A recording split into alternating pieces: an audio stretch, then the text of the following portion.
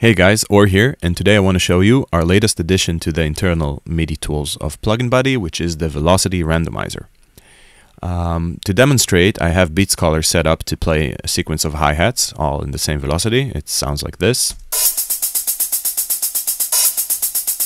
Nothing too special. Beat Scholar is feeding into the Velocity Randomizer, and then everything is going into MINDst Drums here. So let's uh, play around with the Velocity Randomizer and see what happens. Um, Let's just open everything up like this.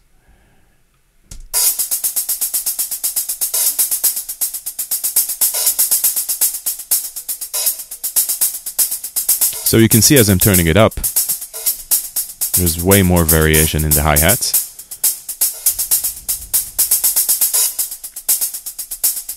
And turning it down diminishes the differences until it gets back to the way it was. In the hi-hat I can do alternate hands, maybe give it a bit of better feel. There we go. This feels way better.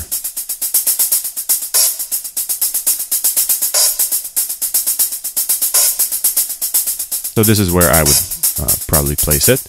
Um, let's try something cool. Let's do the same thing but with uh, snares. Maybe get a cool snare roll going. So I'm just going to stop it for a second.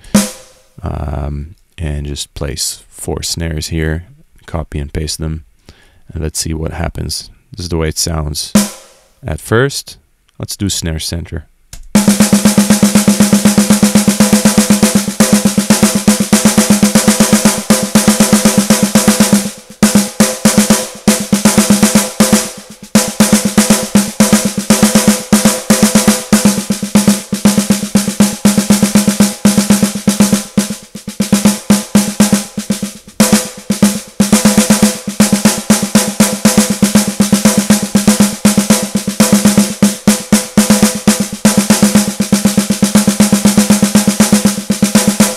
One last thing, let's do like a linear beat. So um, we can go something like, I have no idea what's going to happen here.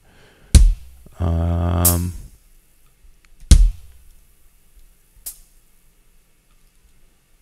let's listen to this one.